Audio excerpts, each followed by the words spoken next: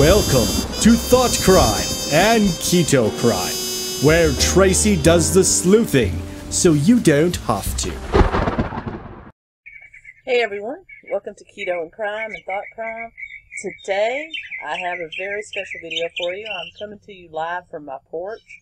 So you probably hear some birds chirping, maybe a rooster crow. There's a rooster down the road that loves to crow even when it's broad daylight, so I don't understand that. But um, we're packing to go on a, uh, a vacation, so the house is kind of hustle bustle right now. So this is the only place I could find that was kind of private. So anyway, today we're going to take a look at this affidavit that was released uh, a few days ago from uh, Madison County, Idaho prosecuting attorney Rob H. Wood. This is an affidavit that basically outlines how the uh, the local police and the uh, Idaho Bureau of Investigation and the FBI knew to search the Daybell residence in Idaho for the bodies of JJ and Tylee.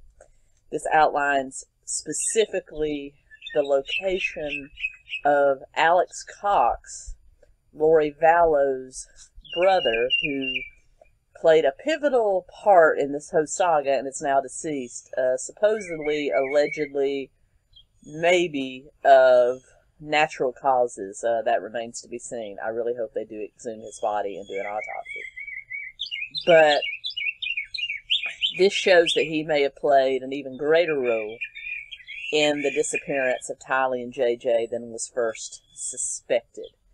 And I don't think that really comes as a shock, but basically, uh, the the local law authorities and FBI, Idaho Bureau of Investigation, used GPS tracking in Alex's cell phone to pinpoint his exact location in the month of September 2019, the months that JJ and Tylee were last seen and supposedly disappeared and were probably had their lives taken. So, without further ado, let's get into it. All right, as the affidavit starts, it's just affirmed by the investigating officer, Rob Wood, that he attained all this information through various sources. Number one's the factual record of what happened. Two, Alex's GPS locator in his cell phone and also an interview with uh, Melanie Gibb and her then boyfriend David Warwick when uh, he went to visit them in Utah. That's how he got a lot of his background information. So it just starts with kind of a review of what they're doing, looking for JJ Vallow, date of birth 525-2012, and Tylee, date of birth 924-2002. Minor children of Lori Vallow, and stepchildren to Chad Daybell, who have been reported missing since September of 2019. Also, he goes on to say that uh, Lori failed to produce them for a welfare check in November or in January of 2020, and she was since imprisoned for neglect and abandonment. And then they turned their attention toward Chad Daybell, who, as of yet, had not been you know, put forth as a potential suspect, at least by means of actual evidence. I mean, everybody kind of knew maybe he was involved, but, you know. He then goes on to rehash how they were, how Chad, Chad Daybell was present in Hawaii when Lori Vallow was taken into custody, and how he did not offer any help or solution to the matter. So let's first start with September 8th, 2019. This was literally the last time that Tylee was seen by anyone. And it was a, in a picture at Yellowstone National Park with Alex Cox and her mother Lori Vallow, and she was not seen any time after that. But what we do know, according to Alex Cox's cell phone GPS record, the next morning after midnight of September 9th, 2019, we can see clearly that Alex moved from his own apartment, which when they first moved to Idaho, Alex lived with them in their little townhouse apartment, but then he moved to his own about a two minute walk from them in the same complex. So we see his GPS move from his apartment to Lori's apartment and ping there from approximately 2:47 a.m. to about 3:15 a.m. the morning of September 9th. So the very early morning of the day after Tylee was last seen. Then we see him ping on the Daybell property from just after 9 a.m. to just after 11 a.m. that same day. Also that same day, we have text records coming from Chad Daybell to Lori Vallow saying that he had an interesting morning, that he was burning some brush behind the barn near the fence, and a raccoon jumped out of a tree and was running along the fence, and he said he felt the need to shoot it and then bury it in the pet cemetery in the yard. Now, Tammy, before she passed away, was a huge lover of animals, and she actually had a pet cemetery on their property near the pond where they would bury the farm animals, pets, animals that she would find dead or dying, and she would bury them there. So this was just a very strange thing for Chad to text Lori with the preface that I had an interesting morning. Now, you can draw your own conclusions from that, but the GPS uh, locator in Alex's cell phone pinged him from just after 9 a.m. on September 9th to, ju- to just after 11 a.m. on September 9th in the area behind the barn near the fence on the Daybell property where Chad says this incident with the raccoon occurred. Now, was this a code? I don't know, but it sounds suspicious to me and I hope that's something that they investigate. But it is all allegedly and conjecture. Now, one thing you need to know about the CAST system they use to monitor these GPS is it's effective within six meters, and if you know that, that's within about within about five, four to five feet in the English system in feet. So it's very accurate. So within you know less than 10, 10 feet, it can predict where he was actually standing. And it did put him behind the barn near the fence for this time period. And I can tell you on June 9th that pe- that neighbors of the Daybells confirmed that there was a bonfire that day near the fence, which was very unusual.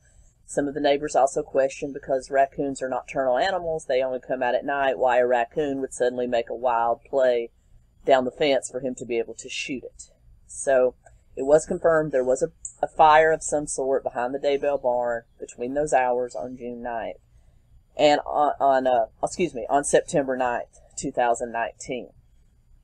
Now, June 9th, 2020, when authorities found the bodies, the body of Tylee Ryan was found behind the barn near the fence, had been partially decapitated, and also burned. So there you go. Also, in interviews with Melanie Gibb, Melanie also mentioned that just before Tylee disappeared, when uh, when Lori and Chad started telling everybody that Tylee had gone on to college, you know, at uh, Brigham Young there in Idaho, that she also felt that Tylee had become a zombie. And she said that this went all the way back Lori took it all the way back to when Tylee was 13 and 14 and didn't want to babysit um, JJ that and would also be kind of rebellious, you know, like teenagers do. She said that in her opinion, based on Chad Daybell's zombie chart, and yes, he had a zombie chart. I've read it. It's kind of hard for me to put it up here for you. But basically, he had different levels of zombies, ranging from one up to like a 4.2. And basically, once a zombie crossed 2.5, they were unredeemable. And according to Melanie Gibb, Lori was saying that way back when Tylee was 13 and 14 and was kind of a rebellious preteen or teen, that she had crossed past 2.5 on this scale, even though she didn't know it then, and had progressed on since. And that Tylee was indeed a zombie. And Melanie remembers her saying this on the phone and hearing Tylee in the background actually screamed, No, mom, not me.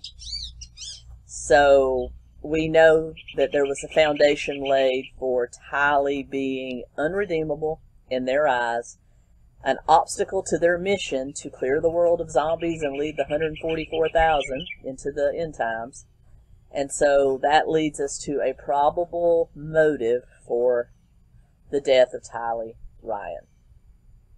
Now, what happened with JJ? Well, we already know from previous investigations and previous interviews with Melanie Gibb and, and now her boyfriend David Warwick, who was here this particular weekend, that Chad and Lori had already started to say that JJ was becoming a zombie.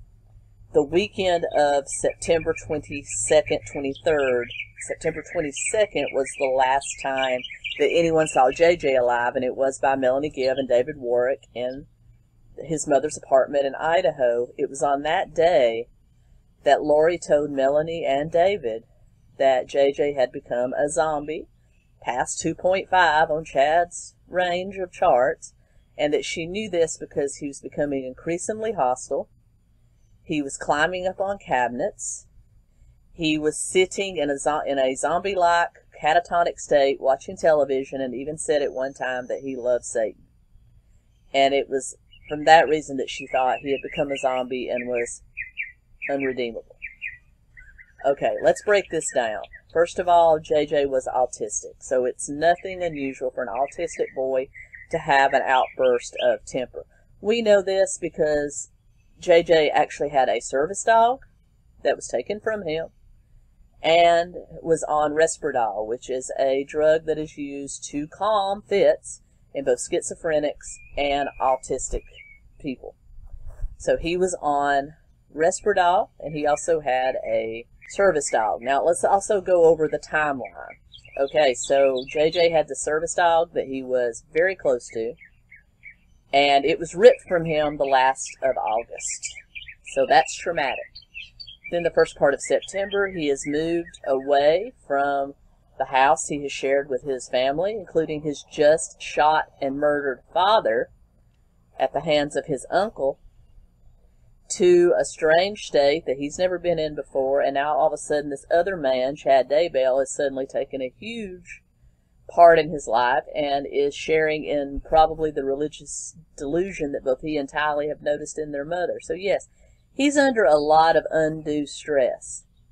Plus, Melanie Gibb also confirmed that there were unused bottles of his Risperdal found in both Lori and Chad and Alex's apartment that had that still had about 17 pills in them left from earlier in the year. Now, so his service dog is gone. He's had all these traumatic events, and now evidently perhaps his medicine is not being utilized properly, even though Melanie did testify that occasionally Lori would overdrug him to put him to bed early to get a break. So all these things are happening, and she wonders why this kid is acting out. So I would say that the fact that he was sitting in front of the television quietly every once in a while is probably a gift. And the fact he was acting out and maybe even saying things like I love Satan might be because he's angry and upset about the, all the religious fervor and religious fanaticism that he's being exposed to. And maybe he's doing it just to get under your skin, Lori. It doesn't mean he's a zombie and unredeemable. But that's the story that Melanie Gibb and David Warwick relayed to Agent Hobb during this affidavit. Now, let's move on to September 23rd when they they were staying with their good friends Lori. They woke up, Melanie and David, and actually before they left said they wanted to say goodbye to JJ. And that's when Lori summed it up by saying, He's not here, he's a zombie, he's with Alex, referring to her brother, Alex Cox, who lived very close. Also, during that period they were staying with them, September 19th to September 23rd, 2019, Melanie recalls a day that Lori and Chad were going to record a podcast, and JJ was acting out, so Alex came over and got him. And when he returned him that night, he was asleep with his head placed over on Alex's shoulder. Now, but they did see him later on September 22nd. But September 23rd, when they woke up and asked to say goodbye to him, they were told he's a zombie, he's with Alex. And then after they left, they really didn't think any more of it. And then later that day, Alex Cox GPS pinged him at Chad Daybell's property from about 9:15 a.m. to about 10:15 a.m. that morning near the pet cemetery near the pond, and it was there on June 9th that JJ's body was found, wrapped in plastic and duct taped, buried in that same general area. And so that's pretty much what this affidavit reveals as far as we're concerned. There was some other stuff about Alex being at Del Taco and some other places along this time, but what it really brings out is just how deep the delusion of her children being zombies Lori Daybell had dropped into, and the location of Alex Cox on the de- the days after the last day either of her children were seen, and then later on where the bodies were found in those exact same places. So I am really anxious to see what happens here and what J- Chad Daybell's part in it was, what Lori's part was was, and Alex Cox because I think he has a, definitely has a lot more to do with it than is being led on, and I would like to know if he actually died of natural causes or not. But that's where I'm going to leave off on this video. I hope you enjoyed this. I will be back next weekend, this weekend, with uh, books three, two, and three of Chad Daybell's Standing on Holy Ground series. I was able to find a couple of them used and also borrowed one, and I did pay for one of them, but it's a grand total of three dollars going into Chad Daybell's pocket, so I really don't feel too bad. But I am going to read those over the rest of the week and have a full review for you in my next two or three videos. So I hope you'll enjoy that, and then I'll be back with other true crime stories. I hope you're enjoying this. I surely am enjoying having conversations about things that interest me with all you guys. I really appreciate all the new subscribers. Uh, if there's any cases you want me to cover, let me know down below. You can also support the channel. Links are down below, but the most important thing you can do is hit that like button for the YouTube algorithm and share, share, share. Thank you so much, guys. And until next time, Keto Come.